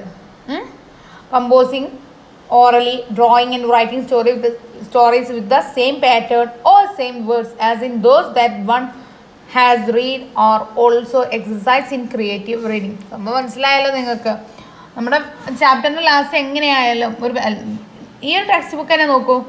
ആ ഒരു ടോപ്പിക്ക് കഴിഞ്ഞാൽ അതിന്റെ എക്സസൈസ് വരുന്നത്. അതാണ് ക്രിയേറ്റീവായിട്ട് വരുന്നത് എന്ന് പറയുന്നത്. അപ്പോൾ ഇത് ഇത്രയും ലെവൽസാണ് മീനിങ്ങിലുള്ളത് അപ്പോൾ ഒന്ന് ഒന്ന് ജസ്റ്റ് മനസ്സിലാക്കി വെച്ചോളൂ കേട്ടോ ഡയറക്റ്റ് ഫൈവ് മാർക്ക് ക്വസ്റ്റ്യൻസ് ആയിട്ട് ഡയറക്റ്റ് ചോദിക്കുകയാണെങ്കിൽ നിങ്ങൾക്ക് അത് ഹെൽപ്പ് ആവുമല്ലോ ഓക്കെ അപ്പോൾ ലെവൽസ് ഓഫ് മീനിങ്ങിൽ എന്തൊക്കെയാണ് literal interpretive then next critical then next creative അപ്പോൾ എന്താ ചെയ്യുക സിമ്പിൾ ലാംഗ്വേജിൽ പഠിക്കാൻ ശ്രമിക്കാം കേട്ടോ ഓക്കെ ഈ ഒരു ക്വസ്റ്റ്യൻ കണ്ടോ നിങ്ങൾ what are the four levels of comprehension ഇതെന്താണ്? അതിന് ആൻസർ എന്താണ് വരുന്നത്? നമ്മളിപ്പോൾ പറഞ്ഞ് ഡിസ്കസ് ചെയ്തിട്ടില്ല. ക്രിട്ടിക്കൽ അതുപോലെ തന്നെ creative interpretive and literal okay അപ്പോൾ ഇതൊക്കെ ഒരു അഞ്ച് മാർക്കിന്റെ ക്വസ്റ്റ്യൻസ് ആയിട്ട് ചോദിക്കുന്നത് കണ്ടിട്ടുണ്ട്. അപ്പോൾ നിങ്ങൾ എന്ത് ചെയ്യുക ഇതൊക്കെ ഒന്ന് ജസ്റ്റ് പഠിക്കുക കേട്ടോ. അപ്പോൾ ക്വസ്റ്റ്യൻ എന്താണ്? ഡയറക്റ്റ് ആയിട്ടുള്ള ചോദ്യം വന്നിട്ടുള്ളത്. എന്താ ചോദിച്ചത്? What are the four levels of meaning എന്നല്ല ചോദിച്ചത്. എന്താ ചോദിച്ചത് മനസ്സിലായോ? കോൺഫറൻഷൻ എന്നാണ് ചോദിച്ചത്. അപ്പോൾ വേർഡ് ഓർക്കുക കേട്ടോ. ഓക്കെ അപ്പോൾ പിന്നെ നിങ്ങൾ അത് പഠിക്കുമ്പോൾ തന്നെ ബാക്കിയുള്ള ക്വസ്റ്റ്യൻസും ഒക്കെ നിങ്ങൾക്ക് അറ്റൻഡ് ചെയ്യാൻ കഴിയും. ഇനി next topic reading problems reading problem എന്നീ ഒരു ടോപ്പിക്കിൽ പറയുന്നത് എന്താണെന്ന് വെച്ചാൽ നമ്മൾ വായിക്കുമ്പോൾ ചിലപ്പോൾ നമ്മൾ എന്ത് ചെയ്യും? നമുക്ക് ഒരു ഐഡിയ കിട്ടും. നമ്മൾ വായിച്ച് തുടങ്ങുമ്പോൾ തന്നെ നമുക്കത് ആ ടെക്സ്റ്റ് മുഴുവൻ നോക്കാതെ തന്നെ എന്തായിരിക്കും ഇനി അടുത്തത് എന്നുള്ളത് നമുക്കൊരു ഐഡിയ കിട്ടും. അത് വെച്ച് നമ്മൾ ചിലപ്പോൾ വായിക്കും. അപ്പോൾ അതായിരിക്കില്ല നമ്മുടെ ടെക്സ്റ്റിൽ ഉണ്ടാവുക. പക്ഷെ വലിയ അർത്ഥത്തിൽ വലിയ പ്രോബ്ലം ഒന്നും വരില്ല. പക്ഷെ നമ്മൾ വായിക്കുന്നത് മിസ്റ്റേക്ക് ആയിട്ട് വരും. അപ്പോൾ അതിന് എക്സാമ്പിൾ നോക്കൂ. He sat on the sofa after supper okay after സപ്പറിന് ശേഷം എന്താണ് അവന് സോഫയിൽ ഇരുന്നു. ഒരു കുട്ടി വായിക്കുകയാണ് he set on the bed after after supper സപ്പറിന് ശേഷം അവൻ ബെഡിലിരുന്നു. സമ്മത് ഈ സോഫ ബെഡ് ഇവ തമ്മിലാണ് ചെറിയ ഡിഫറൻസ് വന്നത്. വായിച്ചോടത്തുള്ള മിസ്റ്റേക്ക് വന്നത്. പക്ഷെ അവന് ബെഡിൽ ഇരുന്നു എന്ന് പറയുന്നതും അവൻ സോഫയിൽ ഇരുന്നു എന്ന് പറയുന്നതൊന്നും വലിയ പ്രോബ്ലം ആയിട്ട് വലിയ ഒരു സെന്റൻസിന്റെ മീനിങ്ങിൽ വലിയ പ്രോബ്ലം ഒന്നും വന്നിട്ടില്ല. അടിസ്ഥാനം ഓക്കെയാണ് പക്ഷെ അവന് ഇരുന്നത് ഒരു ടെക്സ്റ്റിലുള്ളത് എന്താണ്? സോഫയിലാണ് എന്നാണ് നമ്മൾ കുട്ടി എന്താ വായിക്കുന്നത് ഒരു എക്സാമ്പിൾ ആയിട്ടാണ് കേട്ടോ പറയുന്നത് എന്താണ്? ബെഡിലിരുന്നു. സംഭവം ആ ഒരു അടിസ്ഥാനമായ ഒരു മീനിങ്ങിൽ വലിയ പ്രോബ്ലം ഒന്നും വന്നിട്ടില്ല.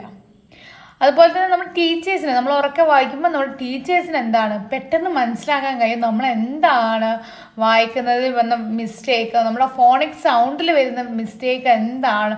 നമ്മുടെ പ്രൊനൗൺസിയേഷനിൽ വരുന്ന മിസ്റ്റേക്ക് എന്താണ് എന്നൊക്കെ ആർക്ക് മനസ്സിലാക്കാൻ കഴിയും? നമ്മുടെ ടീച്ചേഴ്സിന് മനസ്സിലാക്കാൻ കഴിയും. ഓക്കെ ഇങ്ങനത്തെ കാര്യങ്ങളൊക്കെ പറയുന്നത് ഭയങ്കര ഈസിയാണ് വെച്ചാൽ നിങ്ങൾക്ക് ജസ്റ്റ് ഒന്ന് വായിച്ചാൽ മനസ്സിലാക്കാൻ കഴിയുന്നുള്ളൂ. ഇനി ആ കുട്ടി വായിക്കുന്നത് he sat on the soup after supper എന്നാണെങ്കിൽ അത് മൊത്തമായിട്ട് അതിന്റെ അടിസ്ഥാനം തന്നെ തെറ്റിപ്പോയി. സൂപ്പ് എന്ന് പറയുന്നത് ഓക്കെ അറിയാലോ സൂപ്പ് ഓക്കെ ആ നമ്മുടെ സപ്പറിന് ശേഷം സൂപ്പിലിരുന്നു പറഞ്ഞാൽ ആ ഒരു വേർഡേ മിസ്റ്റേക്കാണ് ആ ഒരു സോറി വേർഡ് എന്നല്ല ആ ഒരു സെന്റൻസേ മിസ്റ്റേക്കാണ് ഓക്കെ അത് മൊത്തമായിട്ട് മിസ്റ്റേക്കാണ് ഒരു മീനിങ് ഇല്ലാത്ത ഒരുപാട് വേർഡ്സുകൾ ജോയിൻ ചെയ്തിട്ട് മീനിങ് ഇല്ലാത്തൊരു സെന്റൻസ് ആണ് അത് പറയുന്നത്. അപ്പം അത് ആ കുട്ടി വായിച്ചത് മൊത്തമായിട്ട് തെറ്റും. ഫസ്റ്റ് വൺ മനസ്സിലായല്ലോ. ഫസ്റ്റ് വൺ എന്താണ്? അടിസ്ഥാനം ഒക്കെയാണ്. പക്ഷേ എന്താണ്? കുട്ടി വായിച്ചു കൊടുത്ത് തന്നെ ചെറിയൊരു മിസ്റ്റേക്ക് അത്രയേ ഉള്ളൂ. അപ്പോൾ നെക്സ്റ്റ് നോക്കൂ. A teacher should for raise these questions in analysing a reader's miscues അപ്പോൾ ടീച്ചേഴ്സിന് എന്തൊക്കെ അറിയണം? നമ്മൾ ഈ ഒരു നമ്മൾ ഒരു സ്റ്റുഡന്റ് റീഡ് ചെയ്യുമ്പോൾ കുറച്ച് കാര്യങ്ങളൊക്കെ അനലൈസ് ചെയ്യണം.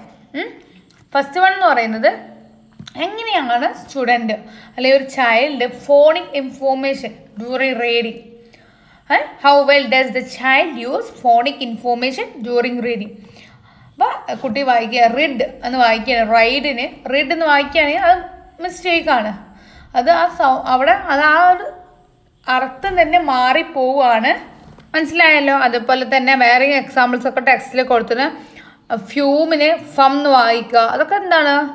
തെറ്റാണ്. She knows the initial and final consonants and uses them appropriately but she does not use the final construction to interact the vowel correctly okay അപ്പോൾ ജസ്റ്റ് നിങ്ങൾ ഇത്ര മനസ്സിലാക്കിയാൽ മതി. നമ്മൾ റൈഡ് അല്ല ജസ്റ്റ് റൈഡിനെ നോക്കൂ. റെഡ് എന്ന് വായിക്കുക. അതൊക്കെ പറഞ്ഞാൽ ആ ഒരു അടിസ്ഥാനം തന്നെ മീനിങ് തന്നെ അർത്ഥം വരുന്ന ഒന്നാണ്. അതാണ് ഫസ്റ്റ് ടീച്ചർ നോക്കുക. കറക്റ്റായിട്ട് വായിക്കുന്നുണ്ടോ? രണ്ടാമത്തെന്ന് പറയുന്നത് how well does the child use syntactic information during reading supposing the text says the boy looked sadly to the right and the child read it as the boy looked slowly to the right the miscue is syntactically acceptable because it is syntactically similar to the text. സംഭവം ഇത് എന്താണ് മിസ്ക്യൂ പ്രകാരം ഇത് സിനാറ്റിക്കലി acceptable ആണ്. എന്താണെന്ന് വെച്ചാൽ syntactically similar to the text okay അത് മാത്രമല്ല ഈ സാഡ്ലി സ്ലോവലി ഇവയൊക്കെ എന്താണ് അഡ്വേർബ്സും കൂടിയാണ്. അതുകൊണ്ട് സിനാറ്റി സിനാറ്റിക്കലി ഇവ ആക്സെപ്റ്റബിൾ ആണ്. പക്ഷെ അർത്ഥത്തിൽ വ്യത്യാസമുണ്ട്. The boy looked sadly to the right the boy looked slowly to the right okay രണ്ട് മീനിങ്ങിൽ ഡിഫറൻസ് വരുന്നുണ്ട്. പക്ഷേ ആക്സെപ്റ്റബിൾ ആണ്. സിനാക്റ്റീവ് സിനാറ്റിക്കലി ആക്സെപ്റ്റബിൾ ആണ്. കാരണം ഇവ രണ്ടും ഈ വന്നിട്ടുള്ള രണ്ട് വേർഡ്സും ആഡ്വേർബ്സ് ആണ്. അതുകൊണ്ട് പക്ഷേ ഇനി കുട്ടി ഇങ്ങനെയാണ് read ചെയ്യുന്നതെന്നുണ്ടെങ്കിൽ the boy look sound to the right എന്നാണെങ്കിൽ അതിൽ മീനിങ്ങിൽ മാത്രമല്ല ഈ ഒരു സെന്റൻസിന്റെ മീനിങ്ങിൽ മാത്രമല്ല ചേഞ്ച് വന്നിട്ടുള്ളത്. ഇത് സിനാറ്റി സിനാറ്റിക്കലി എന്താണ്?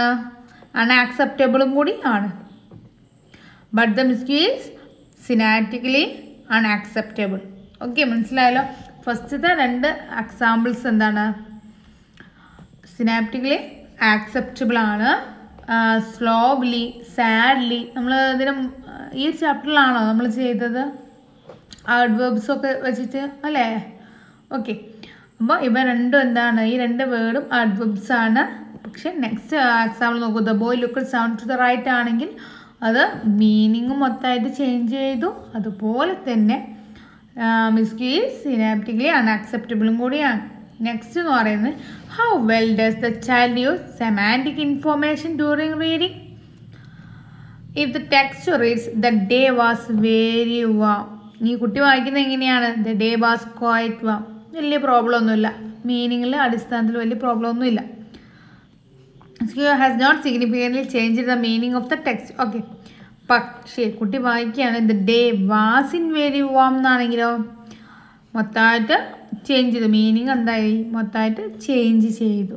ഓക്കെ അപ്പോൾ ടീച്ചർ ഒരു ടീച്ചർ കുട്ടിയുടെ റീഡിങ് അനാലൈസിസ് ചെയ്യുകയാണെങ്കിൽ മൂന്ന് കാര്യങ്ങളാണ് ശ്രദ്ധിക്കുക. First one phonic information during reading how he use phonic information next one during reading how how well he use syntactic information.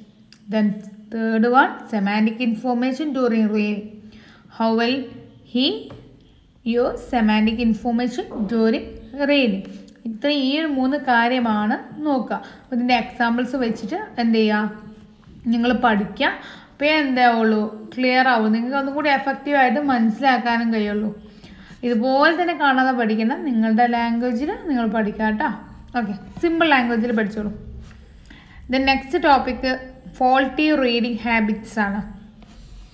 ചില ടൈമിൽ നമ്മൾ വായിക്കുമ്പോൾ നമ്മൾ സ്ലോ ആയി പോവാറുണ്ട്.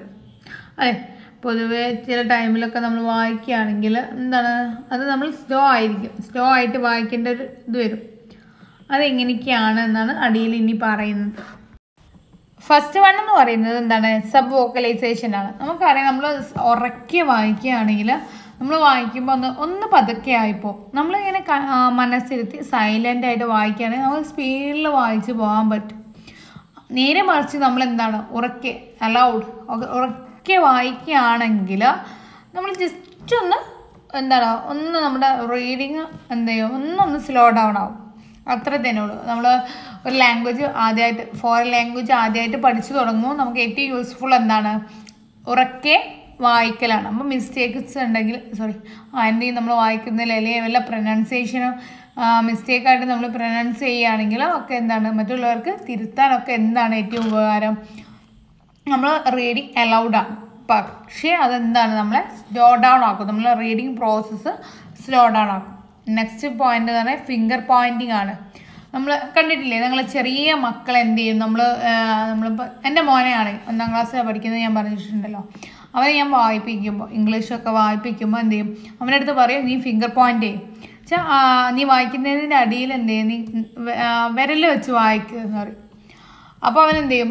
ഓരോ വേർഡ്സ് വിരൽ വെച്ച് വെച്ച് അങ്ങ് വായിക്കും. കാരണം എന്താ വെച്ചാൽ ആ വേർഡിന് കോൺസെൻട്രേറ്റ് ചെയ്യാൻ വേണ്ടിയിട്ടാണ് ഞാൻ അവന്റെ അടുത്ത് വിരൽ വെച്ചിട്ട് വായിക്കുന്നു പറയുന്നത്.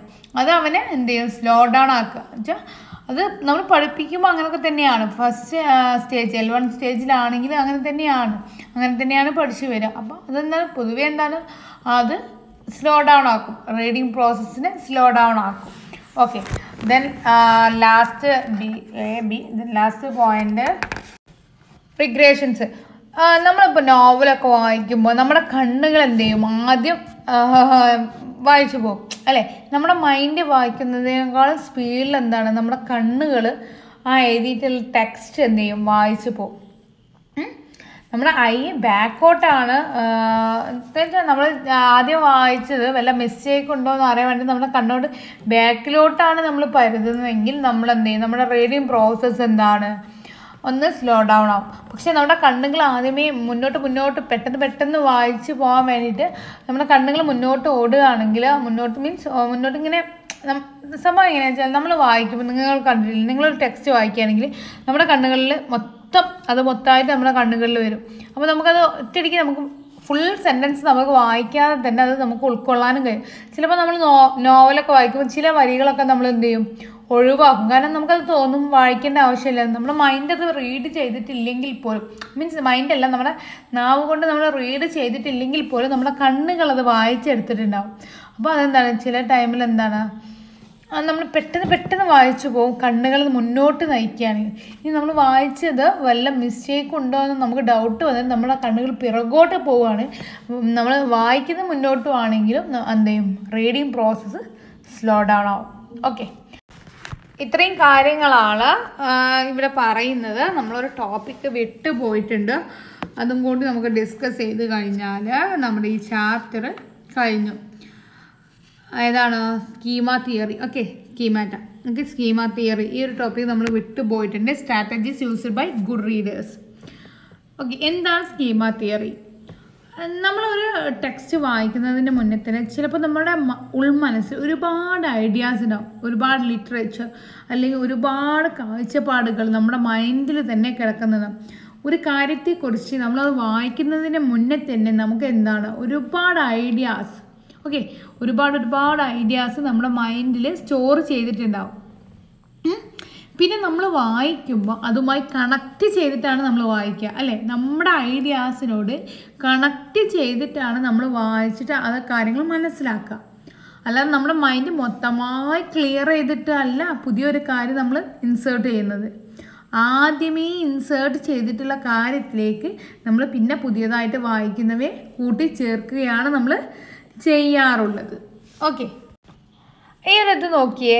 നോക്കുക the relationship um period experience a text and the meanings a reader construct schema theory in action okay അപ്പോൾ ആദ്യത്തെ നോക്കുക a readers period experience with life language and literature ഒരു കാര്യം നമ്മൾ വായിക്കുകയാണെങ്കിൽ അവരുടെ ലൈഫുമായിട്ടുള്ള എക്സ്പീരിയൻസ് ഉണ്ടാകും ചില ചില സിറ്റുവേഷൻസിൽ ലാംഗ്വേജുമായിട്ടും അല്ലെങ്കിൽ ലിറ്ററേച്ചറുമായിട്ടും ഒക്കെ എന്താണ്? ആദ്യമേ നമ്മുടെ മൈൻഡിൽ ഒരുപാട് കാര്യങ്ങൾ നമ്മൾ സേവ് ചെയ്ത് വെച്ച് വെച്ചിട്ടുണ്ടാകും നമ്മൾ വായിക്കുന്ന ആ ഒരു ടോപ്പിക്കിന് വെച്ചിട്ടുള്ള കാര്യങ്ങൾ ഒരുപാട് കാര്യങ്ങൾ നമ്മൾ അറിയാതെ നമ്മുടെ ലൈഫിൽ നമ്മുടെ ലിറ്ററേച്ചർ ഓക്കെ എന്ത് തന്നെയാവട്ടെ എന്തിലായാലും നമ്മൾ ഒരുപാട് കാര്യങ്ങൾ നമ്മൾ അറിയാതെ നമ്മൾ നമ്മുടെ മൈൻഡിൽ സ്റ്റോർ ചെയ്ത് വെച്ചിട്ടുണ്ടാവും. അതുമായി നമ്മൾ കണക്ട് ചെയ്യും. അതുപോലെ തന്നെ നമ്മൾ മീനിങ് എങ്ങനെയാണ്? നമ്മൾ കൺസ്ട്രക്ട് ചെയ്യും. Okay constructs in relation to a text okay നമ്മൾ റിലേറ്റ് ചെയ്ത് കണ്ട് നമ്മൾ ആ ടെക്സ്റ്റ് ഇതാക്കും. ഇനി വൊക്കാബുലറി ആണെങ്കിലോ idea syntax and form of a text ഇതൊക്കെ നമുക്ക് അറിയാം. നമ്മൾ വായിച്ച് വായിച്ച് വായിച്ച് നമുക്ക് എന്താണ് അതിലൊരു എക്സ്പീരിയൻസ് ഉണ്ടാവും. എന്താണ് നെക്സ്റ്റ് വരാൻ പോകുന്നത്? എങ്ങനെയാണ് ഒരു ടെക്സ്റ്റ് മുന്നോട്ട് പോകുന്നത്? എന്നൊക്കെ നമ്മുടെ മൈൻഡിൽ ഓൾറെഡി നമ്മൾ എന്ത് ചെയ്തിട്ടുണ്ടാവും? സേവ് ചെയ്തിട്ടുണ്ടാവും.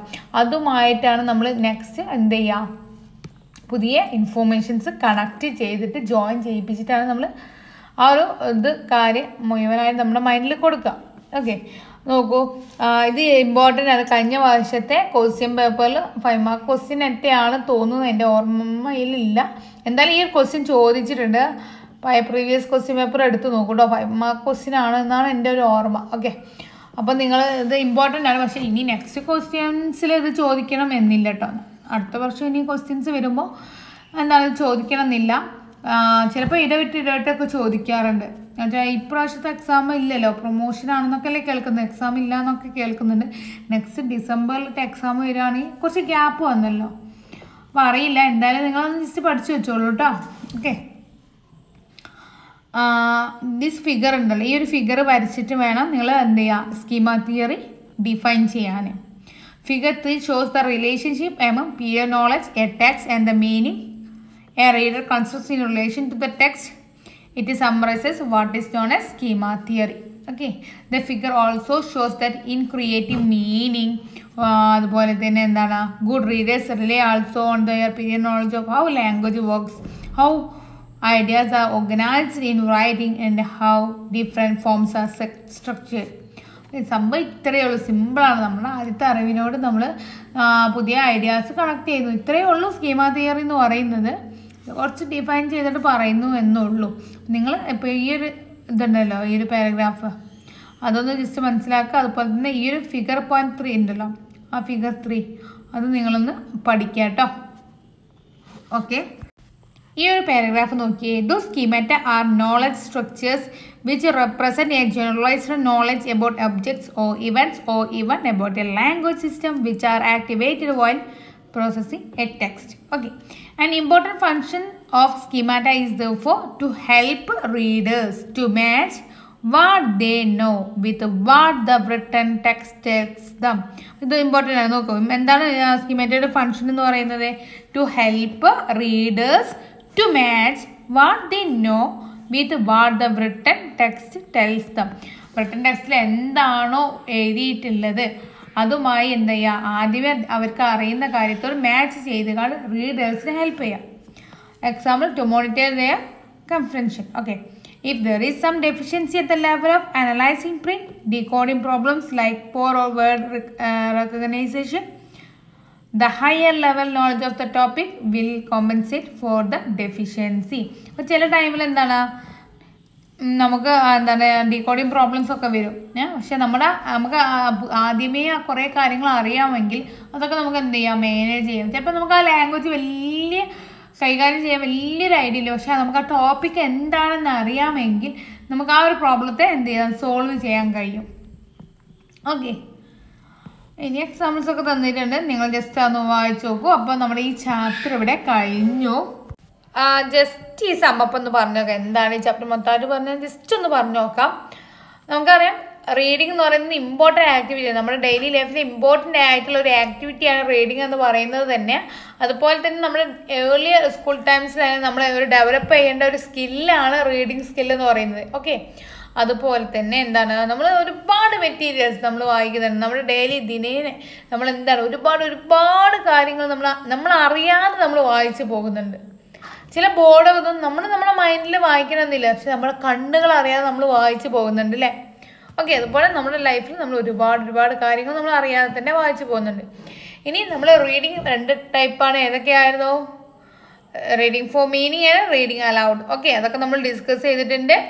അപ്പോൾ അതൊക്കെ എന്ത് ചെയ്യുക നിങ്ങൾ എന്ത് ചെയ്യുക ഒന്നും കൂടി ഒക്കെ ഒന്ന് ഓർത്തെടുക്കുക കേട്ടോ.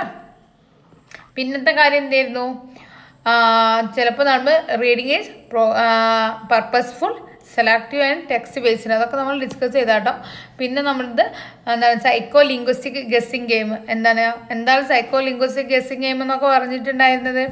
അതൊക്കെ ഒന്ന് ഓർത്ത് വയ്ക്കുക സ്കീമ തിയറി ഒന്ന് ഓർത്ത് വയ്ക്കുക പിന്നെ ടീച്ചർ റെക്കഗ്നൈസ് ചെയ്യുക. എങ്ങനെയാണ്? ആ മൂന്ന് കാര്യങ്ങളുണ്ടല്ലോ. The teacher who teachers reading should recognise the learners reading problems okay ഒക്കെ ഇമ്പോർട്ടന്റ് ആട്ടോ. ഇത് ഡയറക്റ്റ് ക്വസ്റ്റ്യൻസ് അപ്പോൾ നിങ്ങൾ എന്താ ചെയ്യുക പഠിക്കുക കേട്ടോ. പിന്നെ സിമ്പിളായിട്ട് നോട്ട് എങ്ങനെ എഴുതിയാലും ഇതൊക്കെ തന്നെ വേണ്ടി വരും. അപ്പോൾ നിങ്ങളൊന്ന് സ്വന്തമായിട്ട് എഴുതി നോക്കൂ കേട്ടോ ടൈം ഉണ്ടെങ്കിൽ ഞാൻ നോട്ടൊക്കെ നിങ്ങൾക്ക് തരുന്നുണ്ട് ഞാൻ ഉറപ്പൊന്നും പറയുന്നില്ല. എനിക്ക് ഇനിയിപ്പോൾ ഡിസംബറിലല്ലേ എക്സാം വരുന്നത് അപ്പോൾ ഇതൊക്കെ ടൈം ഉണ്ടല്ലോ. അപ്പോൾ അത് നമുക്ക് നോക്കാം കേട്ടോ ഓക്കെ അപ്പോൾ ഇത്രയും കാര്യങ്ങളാണ്. അതുപോലെ sub vocalisation sorry sub okay sub vocalisation എന്താണെന്ന് പഠിക്കുക. അതൊക്കെ എന്താണ് അപ്പോൾ അതൊക്കെ എഴുതുമ്പോൾ എന്താണ് പറയാനുള്ളതെന്ന് വെച്ചാൽ റീഡിങ് എന്താണ്? എന്ത് തന്നെ ചോദിച്ചാലും റീഡിങ് എന്ന് പറയുന്നത് എന്താണ്? നമ്മുടെ ലൈഫിൽ എത്രത്തോളം ഇമ്പോർട്ടന്റ് ആണ്. അതുപോലെ തന്നെ ഒരു ലാംഗ്വേജ് അറിയോ എന്നതിന്റെ അടിസ്ഥാനമായിട്ട് നമ്മൾ എന്ത് ചെയ്യുന്നുണ്ട്? റീഡിങ്ങിനെ സെലക്ട് ചെയ്യുന്നുണ്ട്. അതുപോലെ നമ്മുടെ ഡെയിലി ലൈഫിൽ നമ്മൾ വായിക്കുന്നത്. ഓക്കെ ഇങ്ങനെ റീഡിങ് എന്ന ഒരു ടോപ്പിക് എന്ത് ക്വസ്റ്റ്യൻസ് ഈ ചാപ്റ്റർ എന്ന് ചോദിച്ചാലും നിങ്ങൾ നാലഞ്ച് വരി എന്ത് ചെയ്യുക ഈ റീഡിങ് എന്ന ഈ ഒരു ടോപ്പിക് ഉണ്ടല്ലോ.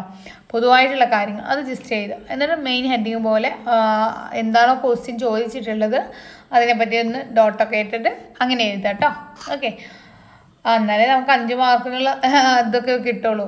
എന്ന് വെച്ചാൽ അഞ്ച് മാർക്കിനുള്ള പോയിന്റ്സ് കാരണം ഡയറക്റ്റ് ക്വസ്റ്റ്യൻ ആണെങ്കിൽ ഇപ്പോൾ സ്കീമ തിയറിന്റെ കേസ് തന്നെയാണെങ്കിലും നമുക്ക് അഞ്ച് മാർക്കിന് അത്രയും വേർഡ്സ് ഒന്നും കിട്ടിയേക്കൊള്ളണം എന്നില്ല പക്ഷെ നമുക്ക് ഇതൊക്കെ അറിയാം. റീഡിങ് എന്താണ് അങ്ങനത്തെ കാര്യങ്ങൾ അറിയാം ജസ്റ്റ് അത് ആദ്യം കൊടുക്കുക എഴുതുക എന്നിട്ട് ബാക്കിയായിട്ട് ഇത് എഴുതുക കേട്ടോ. Okay okay thank you for watching നിങ്ങൾക്ക് എന്റെ ക്ലാസ് മനസ്സിലാവുന്നുണ്ടെങ്കിൽ എന്ത് ചെയ്യുക നിങ്ങളൊന്ന് ലൈക്ക് ചെയ്യുക സബ്സ്ക്രൈബ് ചെയ്യുക ഷെയർ ചെയ്യുക കമന്റ് ചെയ്യുക എന്ത് തന്നെ ആവട്ടെ കമന്റ് ചെയ്യുക. ഓക്കെ ടൈം അഡ്ജസ്റ്റ് ചെയ്യാൻ പറ്റാത്തത് കൊണ്ടാണ് ക്ലാസ് ഇടാത്തത്. അതുപോലെ തന്നെ ഒരുപാട് നേരം ഞാൻ പറഞ്ഞല്ലോ ഞാൻ ട്യൂഷൻ എടുക്കുന്നുണ്ടെന്ന്. അപ്പോൾ കുറച്ച് ഹയർ സ്റ്റഡി സ്റ്റുഡൻസിന് പ്ലസ് ടു സ്റ്റുഡൻസിന് ക്ലാസ് എടുക്കുന്നുണ്ട്. അപ്പോൾ എന്റെ എന്താ പറയുക എന്റെ സൗണ്ടൊക്കെ ഒരു സൗണ്ടൊക്കെ പറ്റേ പോവുകയാണ് പിന്നെ നിങ്ങളുടെ കമൻസ് കാണുമ്പോൾ എങ്ങനെയായാലും ഇടാനുള്ള ഒരു ഇത് വരുന്നതുകൊണ്ട് ഞാൻ ഇടുകയാണ്. ഓക്കെ അപ്പോൾ എന്തെങ്കിലുമൊക്കെ പോരായ്മകൾ ഉണ്ടെങ്കിൽ എന്ത് ചെയ്യുക നിങ്ങൾ ക്ഷമിക്കുക കേട്ടോ okay thank you for watching